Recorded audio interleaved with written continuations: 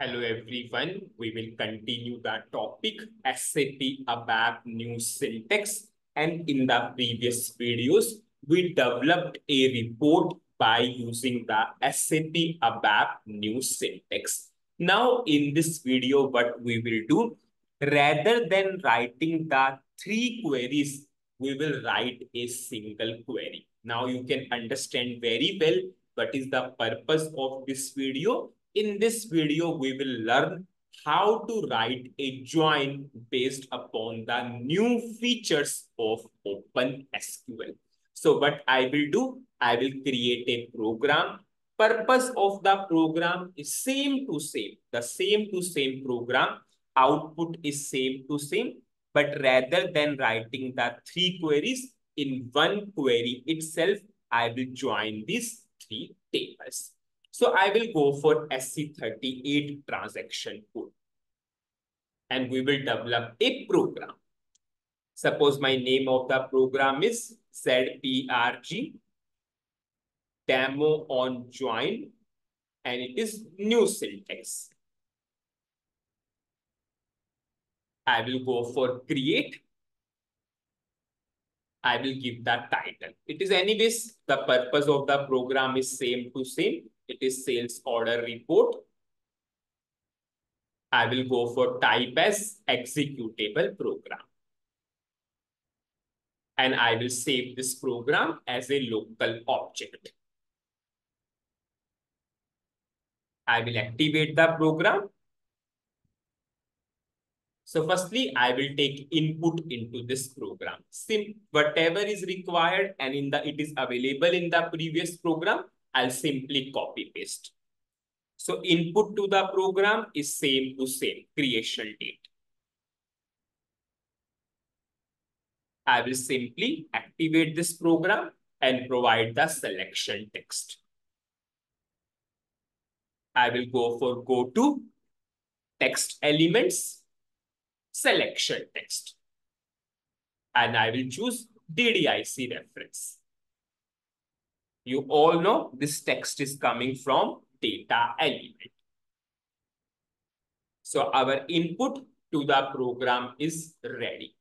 Now, rather than three open SQL queries, now we will go for single query. We will learn how to write a join for this particular three tables, but we will completely use the new syntax. We will use the new features of open SQL. So firstly, I will write select. You all know our output has six columns. VBELN from VBAK table, these four columns from VBAP table, and this column from MAKT table. So I will write the six columns. What is first column? VBELN. You all know in new features of OpenSQL, columns are separated by comma. So I will write VBELN, POSNR, MATNR,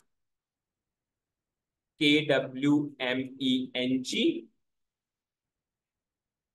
VRKME, and MAKTX. So we are fetching six columns. Now I will write the tables. Firstly, we will go for VBAK and VBAP. Then we will join with MAKT. So what is your first table? From VBAK. Suppose we will create a alias. Alias means shortcut. Suppose I am writing as A. So A is the alias for this VBAK table. Alias creation is optional, but it makes our task easy so whenever I will use into this particular query, I will go for A. Now I will go for join. Join is the keyword. And what is your second table? VBAP as B. Now, you all know whenever you are not specifying anything, by default system will take it as inner join, inner join. You can specify the keyword inner also, no problem. But if you are not specifying anything, system will always consider this as a inner join. And you all know inner join always take the matching records between the table. Suppose if I will go for the example, suppose in this particular first table, we have order number 1 to 7. In the second table, we have order number 1 to 5. Suppose you are going for input, suppose 1 to 7. But if you are going for join, your output will only, only, if you are going for inner join, your output will only display 1 to 5 because in these both the tables, what are the matching order numbers? 1 to 5. 6 and 7 will not come in the output if you are going for inner join because inner join always display the matching records between the table. So currently we are going for a perception that whatever the data, whatever the sales order is in VBAK, it is compulsory in the VBAP table. At least one record is in VBAP table. Then I will show you other part also if you are not going for this particular perception. So first is I am going for inner join of VBAK and VBAP. Now we are joining these two tables on the basis of what column or what field. What is the common column between both the tables? VBELN.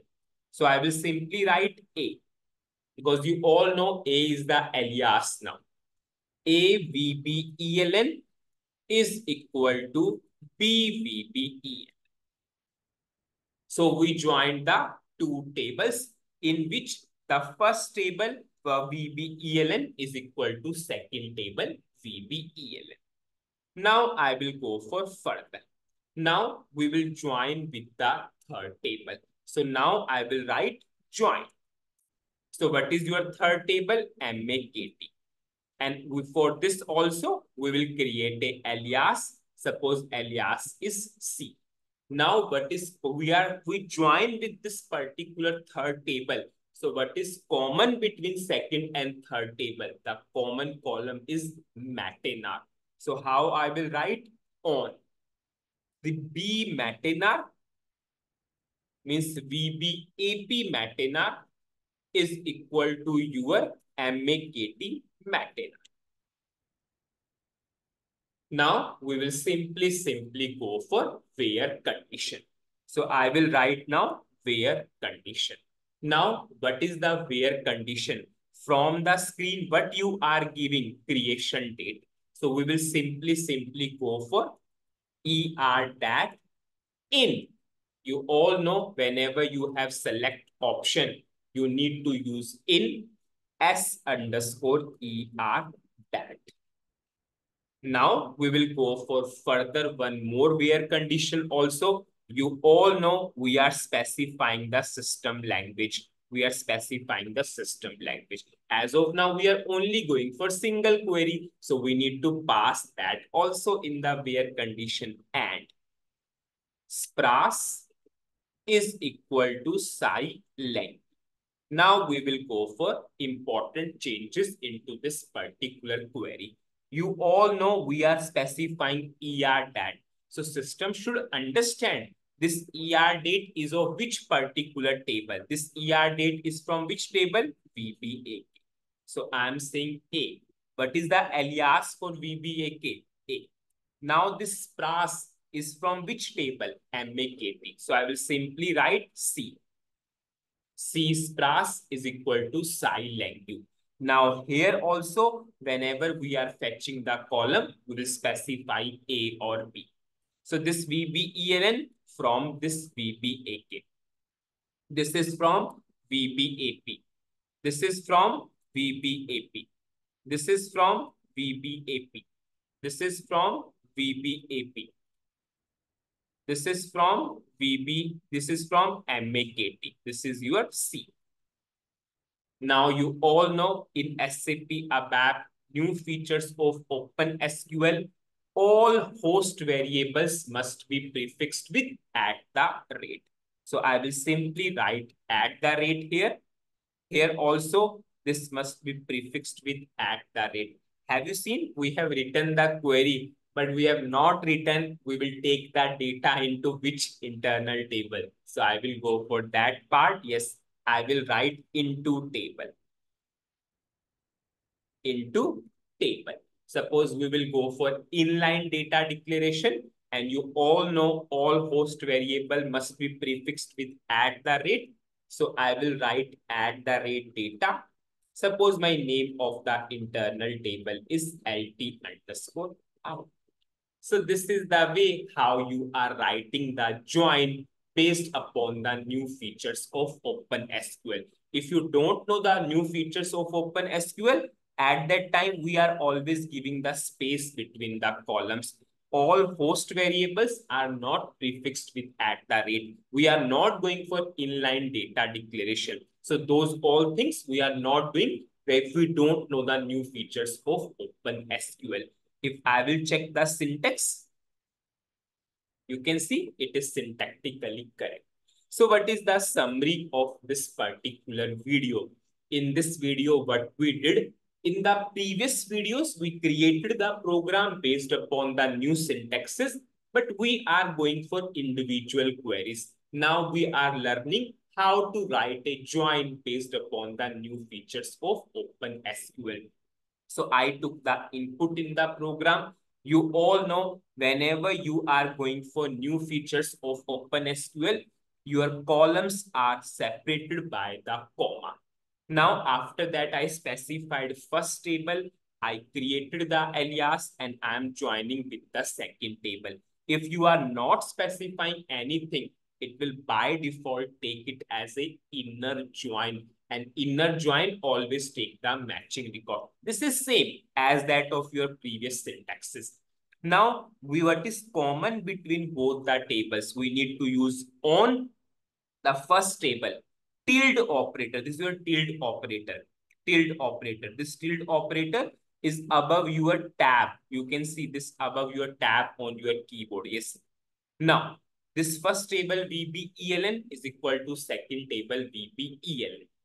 Now, after that, we are going for inner join with MAKT. What is common?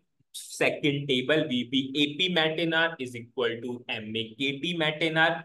We are storing into internal table. We used inline data declaration. We put the where condition. So in this particular join, based upon the new features, we use the comma separated list. All host variables are prefixed with at the rate we use the inline data declaration. Now, in the next video, I will simply, simply go for writing the ALV logic and we will understand the output in the debugging mode. And then after that, we'll go for the another thing also because maximum people will say, here you are going for an assumption that whatever the sales order is in VBAK, it is always in VBAP. But if this is not the case, if you have a concept of draft sales order, then what we need to do, that part we will also be covered. At that time, what are the changes required into this particular join? So that's it in this video. Thank you.